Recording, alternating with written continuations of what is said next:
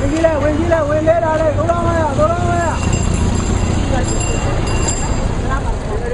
ရန်ကုန်တိုင်းတောင်တကုံမြို့နယ်မှာရှိတဲ့မဖြစ်ဖြူသင်းရဲ့ HIV AIDS ဝေဒနာရှင်တွေအတွက်ဗိုလ်ချုပ်အောင်ဆန်းနဲ့ဒေါ်အောင်ဆန်းစုကြည်တို့ရဲ့ရုပ်ပုံတွေပါဝင်တဲ့လူမှုအသုံးဆောင်ပစ္စည်းတွေကိုရောင်းချပြီးရန်ကုန်ငွေရှာနေကြတာပါ။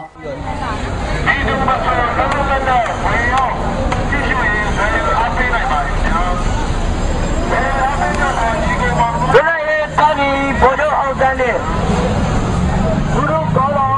ဘယ်တော်တော်တို့ဒီလိုကိုသက်သက်တော့ရောက်ချပေးနေပါလေဒီဘက်ရရှိတဲ့ဝင်ရောက်ကို HIV ရဲ့ရဲဝင်တော့ခံစားနေရတဲ့ကိုတော်ရောက်ထူတန်းတော့မှာဖြစ်ပါလေဒီဇင်ဘာလ12ရက်နေ့မှာလိုက်လံရောင်းချခဲ့တဲ့ဒီရန်မုံငွေရှာပွဲကိုအမျိုးသားဒီမိုကရေစီအဖွဲ့ချုပ်ဖွဲ့ဝင်လူငယ်တွေကဥဆောင်ပြီးအင်ဂျီပိုစတာတော့ကျိတ်စတာတွေကိုရောင်းချခဲ့ကြတာဖြစ်ပါတယ်။ အဲဒီလိုရောင်းချရမှာလဲရန်ကုန်မြို့တာမွေမြို့နယ်ကကြောင်မြောင်းရက်ကွက်မှာလိုက်လံရောင်းချခဲ့ကြတာပါအဓိက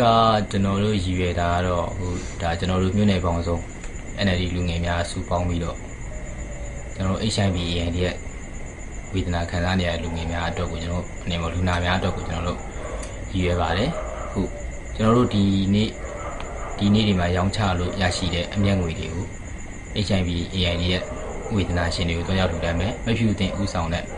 HIV ဒါစင်တာကိုကျွန်တော်တို့တွားရောက်လှူဒါန်းမှာဖြစ်ပါတယ်ခင်ဗျာ။အဲဒီလိုရောင်းချလို့ရရှိတဲ့ရန်မုံငွေတွေကို HIV AIDS ဝေဒနာရှင်ရောက်300ကျော်အတွက်လှူဒန်းသွားမယ်လို့သိရပါတယ်။မျိုးသားဒီမိုကရေစီအဖွဲ့ချုပ်ကတည်ထောင်ထားတဲ့တာဝန်ခံမက်ဖြူဖြူတဲ့ရဲ့ HIV AIDS ဝေဒနာရှင်များကုညီဆောက်ရှောက်ရေးကေဟာကိုပြီးခဲ့တဲ့2002ခုနှစ်ကတည်းကလူထုကောင်းဆောင်ဒေါ်အောင်ဆန်းစုကြည်ရဲ့လက်ညှိုးချက်နဲ့တောင်တကုံမြို့နယ်မှာတည်ထောင်ထားခဲ့တာဖြစ်ပါတယ်။ မြန်မာနိုင်ငံမှာ HIV AIDS ရောဂါကူးစက်ခံရသူပေါင်း2,3600လောက်ရှိတဲ့နဲ့လိင်တူအလုပ်သမားတွေရဲ့ကူးစက်မှုဟာ17.2ရာခိုင်နှုန်းမွေးရစေး30သူများမှာ34.6ရာခိုင်နှုန်းနဲ့လိင်တူဆက်ဆံသူများမှာ22.3ရာခိုင်နှုန်းရှိနေကြောင်း UNAIDS ရဲ့2010ခုနှစ်စစ်တမ်းမှာဖော်ပြထားကြောင်းပါခင်ဗျာဒါဒါဒါရှိတာရှိတာရှိတယ်ဟုတ်ပြီအဲပြန်ထိုက်လိုက်တာယူမလားမသိဘူး